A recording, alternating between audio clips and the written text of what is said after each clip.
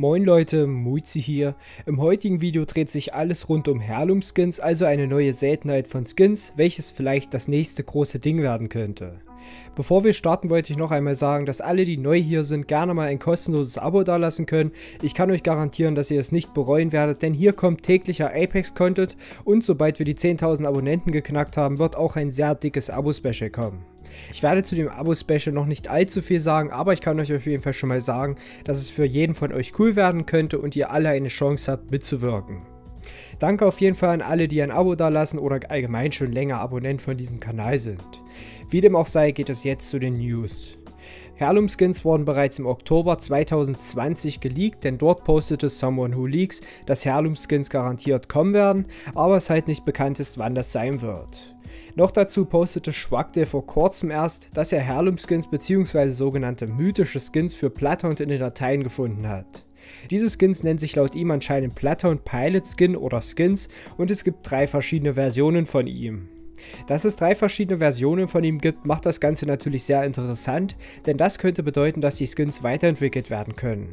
Ich denke, dass es vielleicht ähnlich wie in Fortnite sein könnte, also dass man mit diesem Skin verschiedene Missionen machen muss, um weitere Varianten des Skins freizuschalten.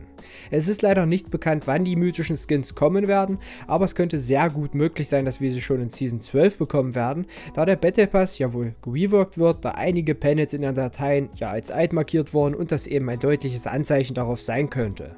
Es ist also möglich, dass wir im Battle Pass von Season 12 schon einen mythischen Skin haben könnten, welcher dann höchstwahrscheinlich der von Schwag der gefundene Skin für Bloodhound wäre.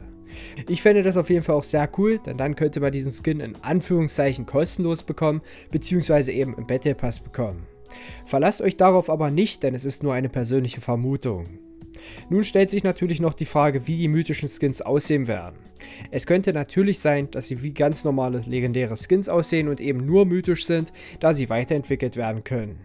Es könnte aber auch sein, dass sie ähnlich wie die Level 100 und Level 110 Battle Pass Waffenskins einfach ein legendäres Design haben, aber eben animiert sind. Eventuell wäre es auch so wie bei den Waffenskins, also umso mehr Kills man macht, desto animierter sind sie.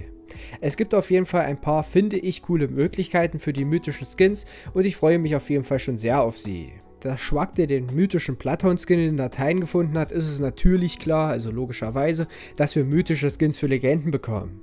Es könnte aber auch sein, dass wir mythische Waffenskins bekommen, aber dazu ist noch nichts bekannt, denn es wurde auch noch nichts dazu in den Dateien gefunden.